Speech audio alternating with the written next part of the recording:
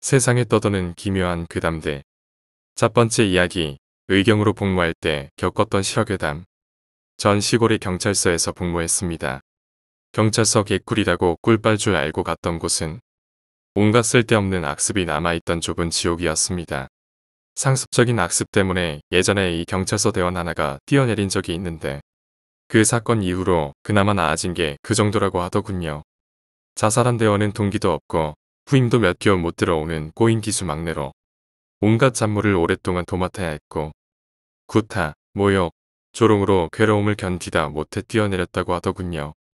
선임들이 겁주려고 하는 거짓말이란 말도 있었지만 저도 그런 꼬인 기수여서 어쩌다가 실수해서 선임들한테 옥상 물품 창고에서 교육받는 날에는 그 자살한 대원의 심정이 10분 이해가 되며 개인적으로는 자살 사건이 실제 있었던 일이라고 믿었습니다. 밤에 취침 점호가 끝나면 경찰서 곳곳을 돌며 소등하는 일이 있었는데 그건 막내가 해야 하는 잡무 중 하나였습니다. 시골의 경찰서는 낮에도 사람이 적은 편이지만 밤이 되면 야근하시는 경찰서 112 상황실 직원분들 몇 명을 제외하고는 아무도 없어서 정말 조용해집니다. 평소처럼 정해진 코스를 따라 1층부터 문단속하고 소등하며 위로 올라갔습니다. 제일 꼭대기층에는 직원들과 대원들이 쓰는 샤워실이 있었습니다. 취침 점호 후에도 선임들이 샤워를 하곤 했기 때문에 샤워장에 들어갈 때만큼은 문을 두드리고 이경 기마무개 샤워실에 용무 있어 왔습니다. 하고 들어가야 합니다. 그날은 샤워하는 소리도 안 들리고 인기척도 느껴지지 않아서 대충 하고 들어갔죠. 있으면 보통은 샤워하고 계신 직원분이나 대원들이 자기가 끄고 나가겠다. 아니면 나중에 끌어와라고 대답을 해줍니다. 그날은 아무 대답이 없었습니다. 문을 열고 슬쩍 보니 샤워실 안쪽 불투명률이 칸막이 너머로 아무도 없는 것 같아 그냥 불을 끄고 샤워실을 나가려 했습니다. 그때 불 끄지 마. 아직 있다고. 다급히 들리는 목소리에 경찰서 서열 최하층이었던 저는 당황했습니다. 죄송합니다. 하고 부랴부랴 불을 다시 켜고 이경 기마무게 나가보도록 하겠습니다. 하고 무서워서 샤워실을 나가 문을 닫았습니다. 시발 좆된 내라는 생각에 놀란 가슴을 가라앉히는데 근데 문이 딱 닫히고 나니까 육감이라고 해야 하나 소름이 쫙 돋는 겁니다. 잘 생각해보니 방금 그 목소리는 선임분들 목소리랑 전혀 다른 목소리였고 직원분들 목소리라기엔 좀 앳된 목소리였습니다. 거짓말 않고 어두운 복도 그 자리에 서서 5분 동안 숨도 못 쉬고 서 있었던 것 같습니다. 오랫동안 있어봤지만 샤워하는 소리도 어떤 인기척도 들리지 않았습니다. 내가 아직 모르는 직원분이 아닐까? 그래. 지금 무슨 일이 있어서 곤란해하는 게 아닐까? 그런가 보다 사과도 할 겸 확인해보자. 이경 기마무개 샤워실에 용무 있어 왔습니다. 기어 들어가는 목소리로 샤워실에 들어갔습니다. 아무런 대답이 없이 조용했습니다. 샤워실 안쪽으로 보니 아무도 없었습니다. 그때 제 눈에 샤워실 창문에 달려있는 쇠창살이 들어왔습니다. 나중에 직원들한테 들은 건데 대원 자살 사건은 사실이며 그 자살한 대원이 뛰어내린 장소가 바로 그 샤워실이었다고 합니다. 자살한 시간도 제가 갔던 바로 그 시간. 그러니까 저처럼 야간 순찰소 등 중에 뛰어내렸던 겁니다. 선임들이나 나중에 들어온 후임들이나 제가 이 얘기를 하면 모두 구라라며 믿지 않고 웃고 넘어갔습니다. 그래서 저도 그때가 혹시 꿈이 아니었나 싶기도 하지만 그 이후로 그 샤워실 소등을 할 때면 무서워서 인기척 없으면 재빨리 불만 끄고 나오고 저녁하기까지 낮에라도 절대 혼자서 그 샤워실에 들어가는 일이 없었습니다. 다급했던 그 목소리는 혹시 어둠 속에서 지금도 무서워하고 있는 고독한 원혼의 소리가 아니었을까요? 그리고 이번엔 또 다른 이야기입니다. 경찰서 관내에 미 뒤가자 실종신고가 들어오면 그분들을 수색하는 일도 경찰서 의경들의 업무 중 하나였습니다. 제가 있던 그 동네만 특별히 그런지 모르지만 제가 복무하던 기간에만도 정말 많은 분들이 사라지셨고 대개는 안타깝게도 시신으로 발견되는 경우가 많았습니다. 사실 경험상 찾은 경우보단 결국 시신으로 발견된 사건이 많았습니다. 이 이야기는 결국 시신으로 발견됐던 한 실종자에 관한 이야기입니다. 그날은 아침에 신고가 들어왔습니다.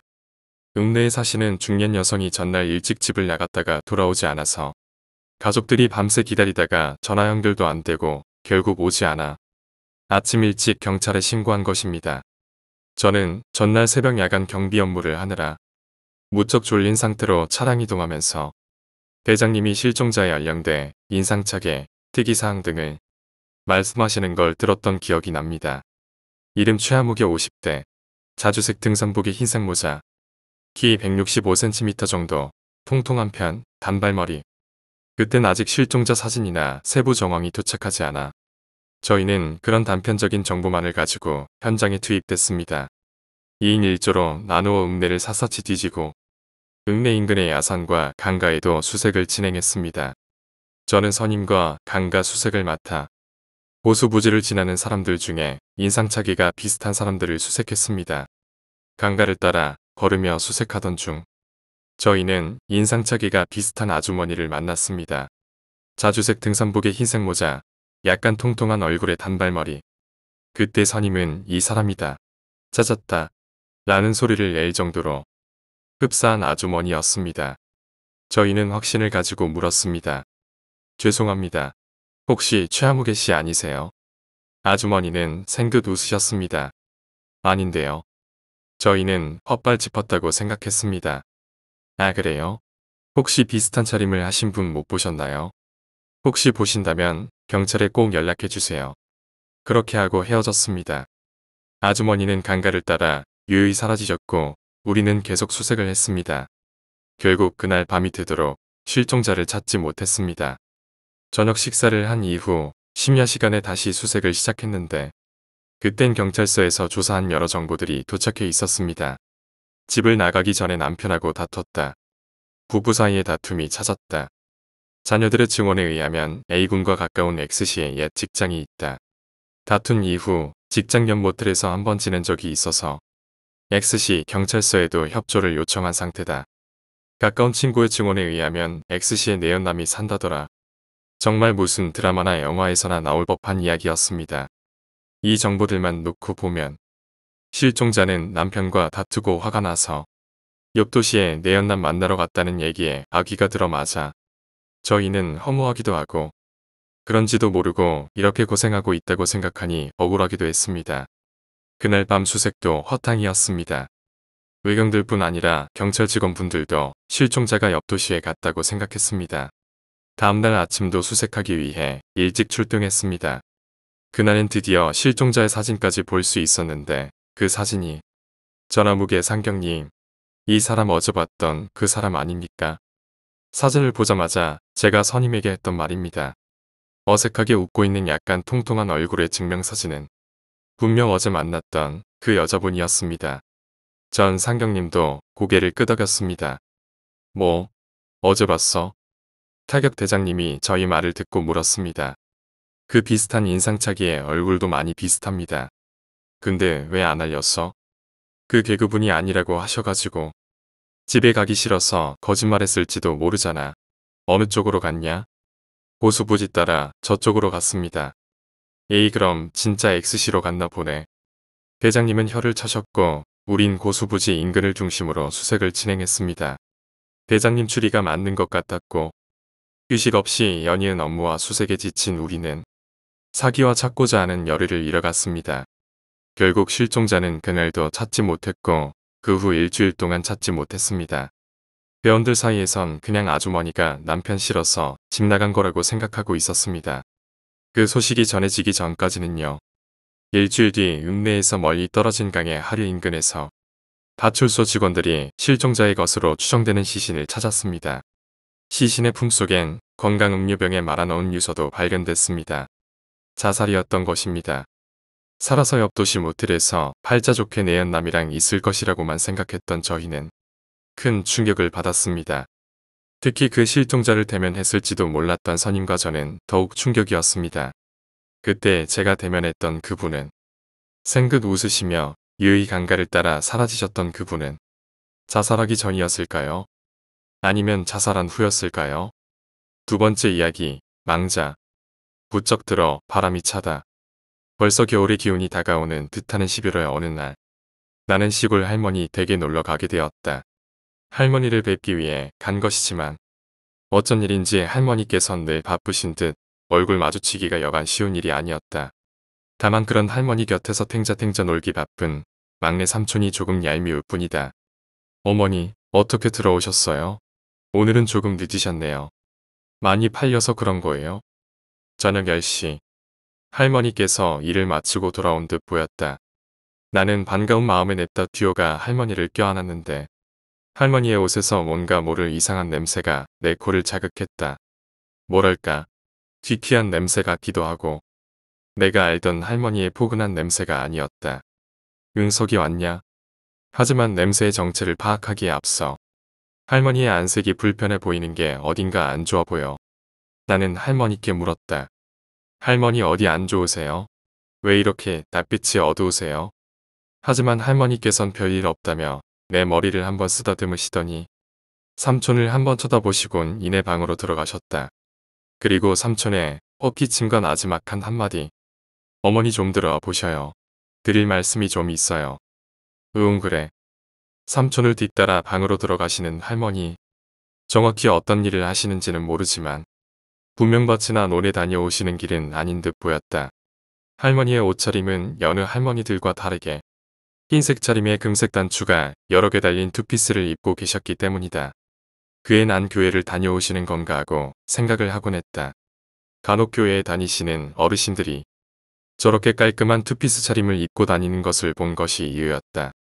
할머니와 삼촌이 방에 들어가시고 나는 마루에 앉아 할머니가 나오시길 기다리면서 두 분의 대화를 의도치 않게 듣게 되었는데 삼촌의 목소리는 너무 작아 들리지 않고 할머니의 목소리만 나긋나긋 들려왔다. 그래 알았다. 그리고 오늘 이거 내일은 몇 시에 있냐? 무언가 삼촌에게 건네주시는 듯 한 목소리와 내일 일정에 대해 물어보시는 듯 보였다. 아무래도 교회에서 받은 선물이거나 뭐 비슷한 무언가겠지. 그리고 내일 일정은 다음날 예배 시간을 여쭤보시는 거구나. 하고 대래 짐작했다. 그리고 고지어 할머니께서 대화를 마치시고 서둘러 부엌으로 옮겨가셨고 살짝 열린 문틈 사이로 보인 삼촌의 모습은 영락없는 백수의 모습이었다. 마치 와우정사의 부처처럼 옆으로 누워 팔을 얼굴에 괴고 열심히 TV를 시청하고 계신 삼촌. 참 내가 봐도 무능해 보인다. 난 혀를 끌끌 차며 할머니를 따라 부엌으로 갔고 자리에 풀썩 앉아 툴툴대듯 말했다. 할머니는 손자가 왔는데 안 반가워요. 나 서울에서 역까지 오늘아 장장 5시간이나 버스 타고 왔는데 그러자 할머니께선 너털웃음을 지으시더니 너그러운 얼굴로 내게 말씀하셨다. 내 손주 왜 반갑지가 않겠어. 할매가 올 일이 힘들어서 허리가 좀 아프다. 조금 서운하더라도 네가 할매를 좀 이해해줘라. 허리가 아프다는 할머니의 말에 나는 할머니께 마사지를 해드리겠다며 누워보시라 했지만 극구 사양하시는 바람에 나는 어쩔 수 없이 포기했다. 그러고 보니 할머니는 아직 옷을 갈아입지도 않으시고 밥을 차리고 계셨다. 할머니 옷이라도 좀 갈아입으셔요. 불편하게. 그래 갈아입어야지. 힘없이 말씀하시는 할머니의 목소리엔 어딘가 분명 안 좋은 게 틀림없었다. 꼭 누군가 잡아챈 듯한 마구 헝클어진 파마머리에 찬바람을 맞은 건지 누구한테 맞기라도 한 것인지 벌겋게 올라온 한쪽 뺨하며 어딘가 정말 이상해 보였다. 근데 할머니, 무슨 일 하시는 거예요? 내가 묻지 말아야 할 것을 물은 것일까? 할머니께선 대뜸 놀라시더니 말을 더듬기까지 하셨다. 별일 아니야. 저 그냥 할매들이랑 그냥 뭐 한 거야. 뭐 할매가 무슨 일을 하겠어. 볼수록 이상했지만 우선은 넘겼다. 뭐 별리야 있겠냐는 심산으로 말이다. 그리고 그날 밤은 그렇게 조용히 지나갔다. 삼촌은 안방에서 주무시고 나는 안방 바로 옆에 위치한 창고로 쓰이던 방에서 잠을 청했다. 그리고 할머니께선 부엌이 따뜻하고 편하다며 거기서 잠을 청하셨다. 그런데 그날 새벽 문득 이상한 소리가 들려왔다. 아들 깨기 전에 얼른 가세요. 나한테 왜 그래요? 할머니 목소리였다. 그리고 뒤이어 들려오는 낯선 목소리. 죽으면 썩어 문드러질 몸뚱이. 뭐 한다고 그렇게 아껴. 그러지 말고 좀 빨리빨리 하자니까. 약간은 격앙되고 자칫 하다간 협박식으로도 들릴 법한 낯선 남자의 목소리가 들려왔다.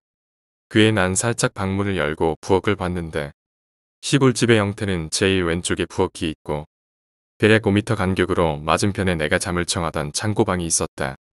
그래서 방문을 열면 곧장 부엌 문이 보였는데 살짝 열린 문틈 사이로 무슨 일인지 확인하려던 찰나 나는 정말 꼴같지 않은 모습을 보고 말았다. 잠을 자고 있어야 할 삼촌이 아주 살짝 열린 부엌 문틈 사이를 따끔히 쳐다보며 무릎을 꿇은 상태로 저 위에 위를 하고 있었던 것이다. 나는 할머니께서 할아버지가 돌아가신 후 외로우셔서 애인을 사귀시나 보다 생각했다. 그런데 그 모습을 보며 혼자 즐기는 삼촌. 이게 대체 말이나 되는 소리인가. 어떻게 본인 어머니가 하는 모습을 즐길 수가 있나 하고 생각했다. 그 모습을 보고 얼른 문을 닫아버린 나는 도로 침대에 누워 생각에 잠겼다. 내일 아침 할머니께 이걸 말씀드려야 하나 말아야 하나 하고 말이다. 그 생각 때문에 밤새 뜬 눈으로 지새운 듯 했다. 이윽고 아침이 밝아왔고 마구간에서 키우는 수탉이 울어댔다. 아침 밥상에 앉은 할머니와 나 그리고 삼촌은 다들 밤새 무슨 일이 있었냐는 듯 아무렇지 않은 표정으로 아침을 맞았고 대충 밥을 다 먹은 뒤 설거지는 내가 하겠다며 밥그릇을 옮기는데 삼촌이 할머니께 말씀을 줬다. 어머니 저 좀 잠깐 보시죠. 또 무슨 말을 하려는 걸까? 할머니와 삼촌은 부엌을 떠나 안방으로 이동했고 나는 두 분의 이야기를 몰래 들을 생각으로 싱크에 물을 틀어넣고 몰래 안방문에 귀를 갖다 대고 두 분의 대화를 엿들었다.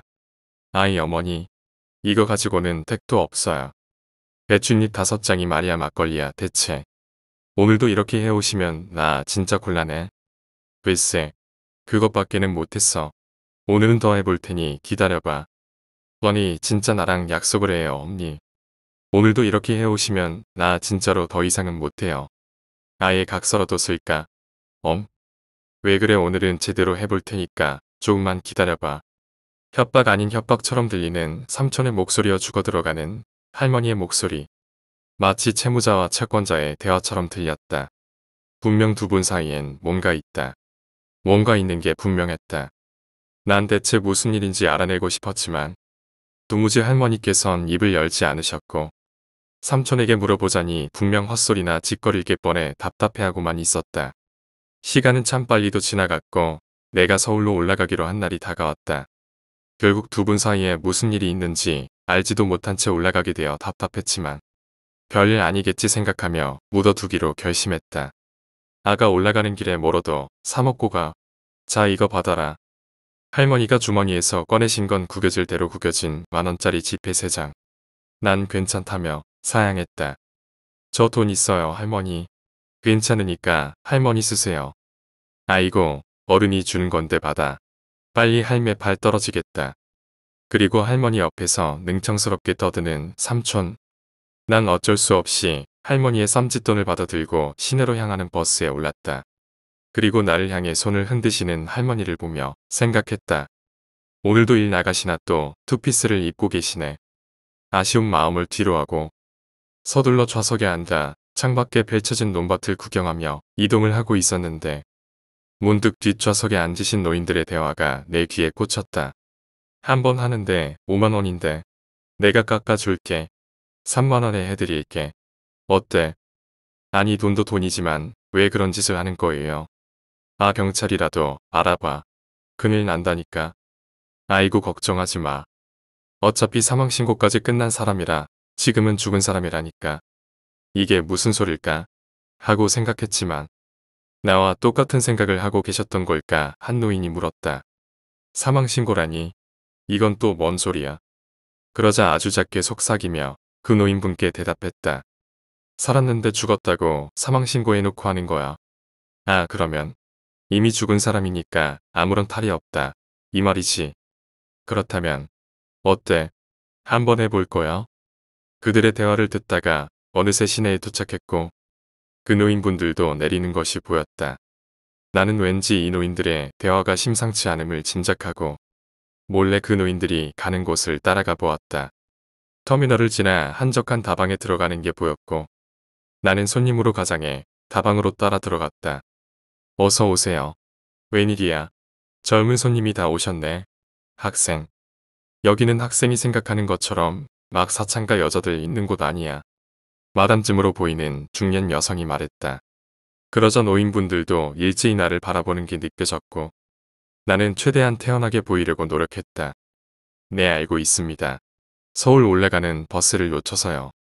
한 시간이나 기다려야 하는데 마땅히 있을 곳도 없고 커피나 한 잔 마시면서 시간 좀 때우려고요.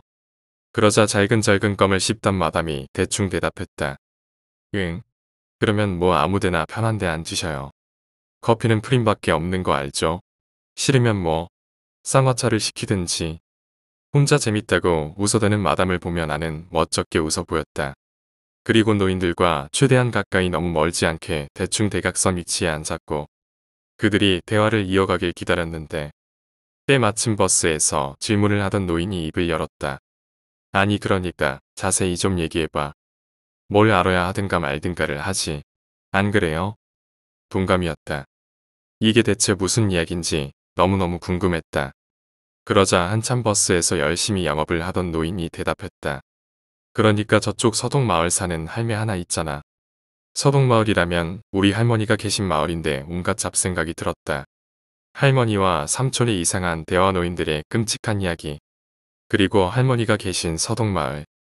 응 근데 그게 뭐. 거 서동마을 뱅순의 아버지가 작년인가 돌아가셨잖아. 아이 이자컷이. 아버지가 돌아가시고 한 달인가 있다가 자기 어매를 사망신고하더니만 글쎄 사람들한테 이상한 소리를 하고 다니는 거야. 이병수 우리 삼촌 이름이다. 사람들이 삼촌 이름을 병수라 부르지 않고 뱅수라고 부르는 걸 몇 번 들은 적이 있다. 그렇다면 이 이야기는 우리 할머니 얘긴가 싶어 나는 더욱 귀를 기울여 듣고 집중했다. 이상한 소리가 뭔데? 자기 어매를 판다고 그 말이야. 한 번 할 때마다 5만 원씩 주면 된다고. 뭐 머리채를 잡든 때리든 임신을 시키든 아무런 상관없다고 그러고 다녔어. 가히 충격적이었다. 이게 무슨 소리란 말인가? 아니, 그래서 지금 그 할매랑 해보라는 소리야. 아따 거참. 한 번 하는데 5만원이야 5만원. 거저지 거저. 끝자니 열심히 떠들어 대던 그 노인은 우리 할머니를 소개해주는 대신 소개비를 받는 듯 보였다. 나는 그들의 이야기를 듣다가 말고 바로 다방을 빠져나와 다시 시골 집으로 향하는 버스에 올라탔다. 심장이 터질 것만 같았다. 할머니를 아니 삼촌을 만나 뵙고 흥정을 할 생각에 말이다. 어머니 이제 들어왔어요. 오늘은 늦은 걸 보니 많이 팔았는가 보네. 세 번째 이야기. 제주도 수선진성. 아버지의 고향은 제주 수선리입니다. 수선리에는 수선진성이라는 성이 있는데 어릴 적 아버지께서는 그곳에서 자주 놀다가 기이한 일을 겪으셨다고 합니다. 수선진성은 조선시대 때 현무암으로 쌓은 성으로 관방시설이었다고 합니다. 관방시설은 험준한 곳에 시설을 만들어 방어를 하는 곳을 말합니다. 현재 수선진성이 있는 곳은 아버지가 다니셨던 초등학교가 근처에 있어서 아버지를 포함한 동네 아이들은 그곳에서 자주 놀았다고 하네요. 그늘도 아버지는 친구들과 함께 수선진성에 가다가 돌을 높게 쌓아 올린 곳을 발견하게 되었습니다. 야, 저기 뭐 하는 곳이냐? 소원 비는 곳 같은데 우리도 한번 빌어볼까? 아버지 친구는 소원 비는 곳이라고 말하곤 가자고 했습니다. 그래도 혹시 들어줄지 모르잖아. 어서 빌자. 두 분은 그곳에서 원하는 소원을 빌고 돌아가려는데 등 뒤에서 여자아이 목소리가 들렸습니다. 여기가 소원 비는 곳 맞아? 아버지 나이 또래의 여자아이가 어느새인가 아버지 뒤에 있었습니다. 소원에 비는데 너무 열중한 나머지 누가 오는 줄도 몰랐던 것입니다. 나도 여기에 소원을 비려고 왔어. 아버지가 기억나는 대로 말씀하셨는데 그 소녀의 차림새는 단발머리와 고무신, 치마와 반팔티를 입었고 고개를 숙인 채 무언가 중얼거리기 시작했는데 아버지 눈앞이 흐려지더니 여자아이가 사라졌다고 하네요. 아버지와 친구는 그 광경에 너무 놀라 몇 번을 넘어지면서까지 집까지 계속 달리셨다고 합니다. 집에 와서 어른들에게 이야기하고자 했지만 너무 황당한 일이어서 믿어주지 않을 것 같았고 결국 아무에게도 이야기할 수 없었다고 합니다. 그런데 얼마 후에 마을에 이상한 소문이 들려왔습니다. 수선진성에 어린 여자아이가 갑자기 나타났다가 사람들에게 말을 걸고는 사라진다고 하는 소문이었습니다. 아버지도 어르신들 이야기를 들으시고 기억을 되짚어가며 소원 비는 곳에서 만난 소녀를 떠올렸습니다. 저희도 소원 비는 곳에 다녀왔는데 혹시 거기가 어디예요? 아버지께서 마을 어르신들 중 한 명에게 묻자 마을 어르신은 이야기를 시작하셨습니다. 수선진성을 지을 때 자꾸만 무너져 내려서 축성하던 사람들 중 하나가 스님께 물었더니 10살 되는 어린 여자애를 공양의 성을 쌓으면 무너지지 않을 것이다. 라고 했답니다. 그래서 13살쯤 되는 어린 소녀를 공양에 바치니 성이 무너지는 일은 없었지만 그 소녀의 영혼을 달리기 위해 신앙알망당이란 당을 세웠습니다. 그 후로 가끔씩 그곳에 여자아이가 나타나서는 그곳을 찾는 사람들에게 소원을 비는 곳이냐고 물어본다고 하네요. 아버지에게 수십 년도 지난 일이지만 문득 그 아이가 빌었던 소문이 뭐였는지 가끔 궁금하다고 하네요. 네 번째 이야기, 수험생 시절의 이야기. 수험생 시절 겪은 이야기다. 나는 도호쿠 농가에서 태어났지만 도쿄에서 대학 다니는 걸 목표로 죽어라 공부했었다.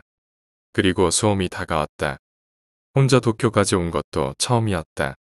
목표는 와세다와 게이요. 하지만 시험장에 다다르니 나도 모르게 안절부절해버려. 제대로 답도 다 쓰지 못한 채 시험이 끝나고 말았다. 굳이 결과를 기다리지 않아도 불합격이 확실한 상황. 나는 어찌할 바를 몰랐다. 대학에 붙지 못하면 아버지의 뒤를 이어 농부가 돼야만 했다. 그 무렵 나는 농부가 되느니 차라리 죽겠다고 여기고 있었다. 그랬기에 호텔로 돌아온 후 진짜 자살할 작정이었다. 창문이 안 열린다는 것도 모르고 뛰어내리려고 8층 방에 도착하자마자 창으로 뛰어갔다. 커튼을 열고 창문 열쇠에 손을 댄다. 그러자 목소리가 들렸다. 자살하면 안 돼. 뒤를 돌아보았지만 아무도 없었다. 창밖을 보니 웬 아저씨가 창문 아래 붙어 있었다. 여기는 8층. 줄 하나 없이 창 아래 매달려 있는 아저씨를 보고 나는 할 말을 잃었다. 아저씨는 나와 시선이 마주치더니 생긋 웃었다. 앞니가 노래졌다. 하나가 빠진다. 살다 보면 좋은 일이 있을 거야. 그렇게 말한 뒤 아저씨는 아래로 떨어져 갔다. 열리지 않는 창문 때문에 아저씨가 어디까지 떨어졌는지는 보지 못했다. 나는 자살할 생각이 사라져 그대로 집으로 돌아왔다. 다섯 번째 이야기, 상냥한 목소리. 내가 중학생 때 겪은 일이다. 당시에는 그리 무섭지 않았지만 지금 와서 돌아보면 이상한 일이었달까. 중학교 2학년 2학기 급성 맹장염으로 응급실에 실려갔다. 딱 중간고사 직전이었기에 지금도 기억이 생생하다. 새벽 몇개 복통을 느껴 그대로 구급차에 실려갔다. 바로 입원하고 수술을 준비했다. 수술은 다음날 일정이 잡혔기에 나는 진통제를 먹고 병실에 누워 있었다. 병실은 6인실로 꽤 컸지만 입원 환자는 나와 옆에 있는 사람뿐이었다. 저녁이 돼서 일을 마친 어머니가 갈아입을 옷이랑 이런저런 것들을 가지고 문병을 오셨다. 한동안 이야기를 하고 있는데 예순 정도 되어 보이는 할머니가 병실에 들어오셨다. 아마 옆에 있는 사람을 병문안하러 온 듯했다. 어머니는 지금부터 일주일 정도 신세 질 것 같습니다. 하고 인사를 건네셨다. 할머니도 젊으니까 금세 나을 거예요. 우리야말로 잘 부탁합니다. 라고 미소 지어주셨다. 분위기가 참 좋은 분이었다. 할머니는 옆 사람 침대 커튼을 열고 들어가 한 시간가량 이야기하더니 돌아가셨다. 본면의 시간이 끝나 어머니도 집으로 돌아가셨다. 그날 밤 나는 다음날 수술받을 생각에 걱정이 돼서 쉽게 잠을 이룰 수가 없었다. 그러자 뒤척이는 소리를 들었는지 옆 침대에서 말을 걸어오기 시작했다. 이야, 이 병실에 누가 입원하는 건 정말 오랜만이네. 여기서 몇 달간 혼자 있어서 정말 심심했다네. 왜 입원한 건가? 소리를 들어보니 아무래도 아까 할머니의 부군 되시는 분 같았다. 상냥한 목소리였다. 맹장염이에요. 새벽에 갑자기 배가 아파져서 곧 시험인데 큰일 났지 뭐예요. 나는 학교 이야기와 동아리 이야기 등 이런저런 이야기를 꺼내놓았다. 어머니가 집에 가셔서 불안했기에 더욱 이야기하고 싶었던 것도 있고 할아버지의 목소리가 너무나 상냥했기에 이야기를 술술 털어놓을 수 있었다. 할아버지는 웃으면서 이야기를 들어주셨다. 젊은 건 그 자체만으로도 훌륭한 거야. 큰 병이 아니라서 다행이구나. 나는 실례일지도 모른다고 생각했지만 할아버지의 입원 이유를 여쭤봤다. 이제 아픈 곳이 너무 많아서 어디가 안 좋다고 말하기도 힘들구나. 아마 얼마 못 버티겠지만 나는 괜찮아. 아마 퇴원하지 못하고 이대로 여기서 떠나겠지만 말이야.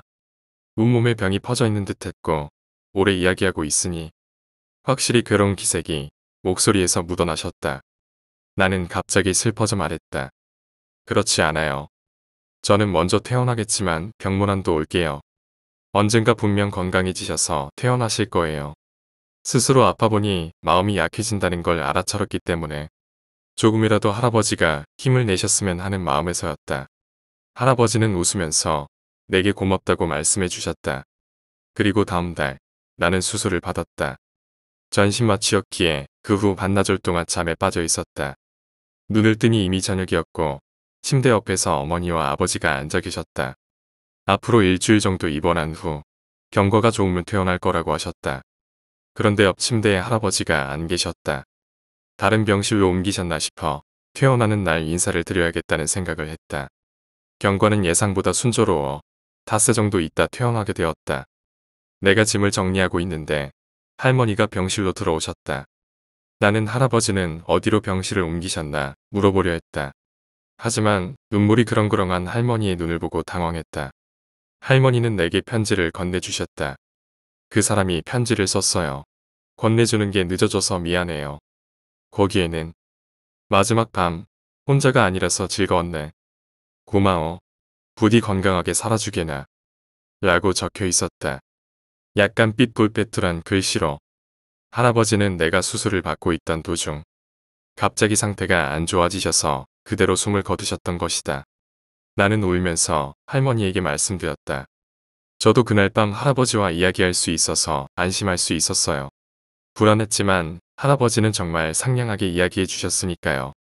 그러자 할머니는 이상하다는 듯한 얼굴을 하셨다.